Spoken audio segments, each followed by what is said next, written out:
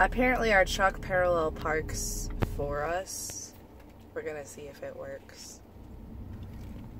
Scanning for a spot right now. Spot found. Pull forward to starting point. Stop. Remove hands from steering wheel.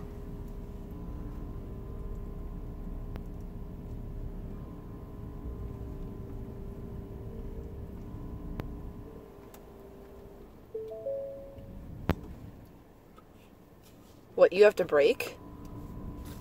I don't know. That was weird because if there was a car behind you, you would have hit them. I don't trust it. I don't either.